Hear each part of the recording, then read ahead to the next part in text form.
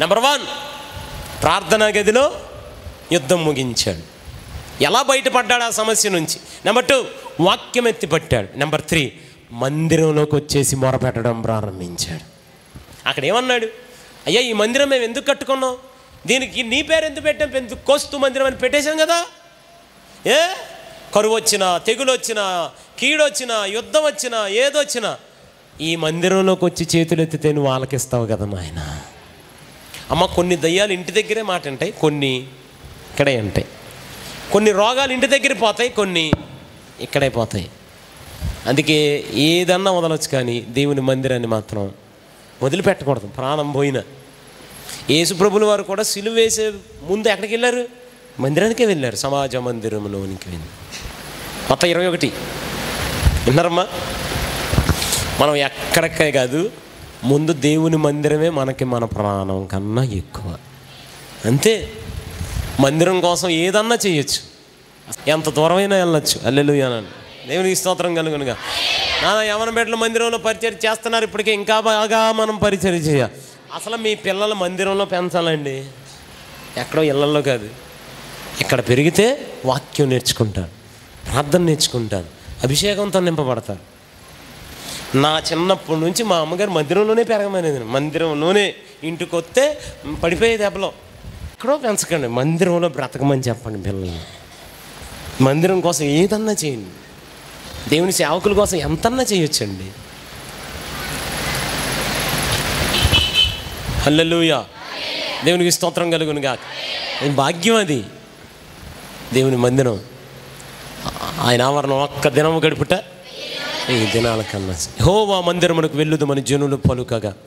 రాజుగారికే సంతోషం వేసిందండి. అసలు ఆ గుంపెంటో రాజుగారి దగ్గరికి వెళ్ళి పొలమును ఆస్తులు అడగట్లా. దా మందిరానికి వెళ్దాం రా అని అడిగారట. మామూలుగా మనం వెళ్తే ఏమండే అది అమ్మఒడి రాలేదు ఎత్తరా? ఆ స్థలం రాలేదు ఎత్తారా? అంటాం మనం. వీళ్ళేంటో నూట ఇరవై రెండో కీర్తనలో అందరూ రాజా ఎంతసేపు కూర్చుంటా కుర్చీలో?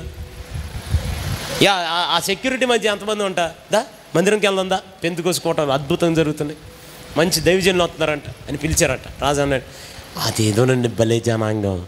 వచ్చి నా దగ్గర కోరికలు అడగలేదు. మందిరానికి రాని అడిగానండి అడిగారండి అన్న. మన జీవితం ఎక్కడ గడపాలి? మందిరంలో గడపాలి. దేవుని సన్నిధిలో. దేవుని సేవకుని దగ్గర గడపాలండి. చారేపతి విధవరాలు. అనండి ఒకసారి. పర్లేదు మంచిగా అనండి. ఇక ఒకరోజు అప్పం తినేసి చచ్చిపోదాం అనుకుంది. అవునా కాదా? పాస్ గారు వచ్చాడు. పాస్ గారు వచ్చి ఇగో అమ్మా అన్నాడు. ఏంటమ్మా నీ మొదటి అప్పని నాకు ఇస్తావా అని అన్నాడు. మొదటిది. ఏదమ్మా? మొదటిది ఇస్తావా అని అన్నాడు. మీరైతే ఏమంటారు మామూలుగా? ఏదో చెప్పండి. ఆరు అడుగులు ఉన్నాడు ఎంత ఉన్నాడు? పని చేసుకోలేవా? ఉన్నది ఒక్కటే పిల్లోడు తిని చచ్చిపోవాలి. నువ్వేంది? నువ్వు వచ్చి లాగేస్తావు అని అంటాం. కానీ ఆ తల్లి అలా అనలా. దేవుని పని కోసం తన కడుపులోది కూడా తీసేసి ఇచ్చేసి అంత తెగించింది దేవుని పరిచయకు ఏమైంది? మళ్ళీ వెళ్ళి చూసింది. కొండలో ఏముంది? పిండి ఉంది. బుడ్లో ఏముంది? మళ్ళీ అప్ప వేసింది. కొడుకు ఆమె తినేశారు. మళ్ళీ తెల్లారింది. మళ్ళీ తెల్లారగానే ఏ చచ్చిపోతాం ఈరోజని అని మళ్ళీ కొండేపు చూసింది. మళ్ళీ ఏమొచ్చేసింది పిండి వచ్చేసింది. బుడ్డేపు చూసింది. ఏమొచ్చింది నూనె వచ్చింది. పాస్ గారు కొట్టేసింది వీళ్ళిద్దరు తినేశారు. మళ్ళీ పడుకున్నారు. మళ్ళీ సాయంత్రం వేసారు మళ్ళీ ఏమొచ్చింది పిండి వచ్చింది. మళ్ళీ ఏమొచ్చింది నూనె వచ్చింది. అమ్మ అసలు పిండి రావటం నూనె రావటం కాదు. ఆ ఇంట్లో దేవుడు రెండు ఫ్యాక్టరీలను ప్రారంభించేశాడు. ఒకటేమో పిండి ఫ్యాక్టరీ ఇంకోటేమో నూనె ఫ్యాక్టరీ. స్టార్టింగ్లోనేమో మీరు ఆ స్క్రిప్చర్ బాగా చదవండి. ప్రారంభంలో విధవరాలు అని రాశాడు. తర్వాత రాగానే యజమానురాలు అని రాశాడు. ఇప్పుడు రెండు ఫ్యాక్టరీలకు యజమానురాలు అయిపోయింది. అమ్మ మీలో చాలామంది ఫ్యాక్టరీలకు యజమానులు అయిపోబోతున్నారు. ఆమె నానాలు గట్టిగా. మీ పిల్లలే ఫ్యాక్టరీలు పెట్టబోతున్నారు. స్వార్థమ్మ గారు మీ పేరే పెట్టబోతున్నాడు మీ మానవడం. రిబ్బన్ కటింగ్ అయ్యగారంలో పిలవబోతున్నాను పిలిస్తే నేను కూడా వస్తున్నాను దేవునికి స్తోత్రం కలగనుగా అల్లెలుయా మంచిగా చెప్తాం దేవునికి స్తోత్రం కలగను. అల్లెలుయా ఎంత ఆశీర్వాదం ఎక్కడుంది? మందిరంలో. మన చేతిలో. మన చేతిలోనే.